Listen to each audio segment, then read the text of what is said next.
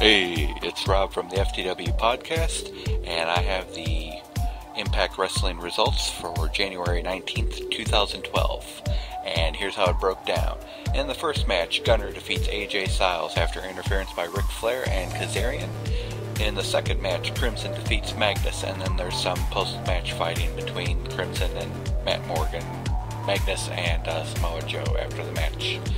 In the third match, Mickie James defeats Madison Rayne. In the fourth match, Eric Young defeats Angelina by DQ. The fifth match, Storm versus Hardy, again goes to no contest. This is the second week in a row we've had no contest in the main event, as both Bully Ray and Bobby Roode interfere this time. So that was pretty much the show.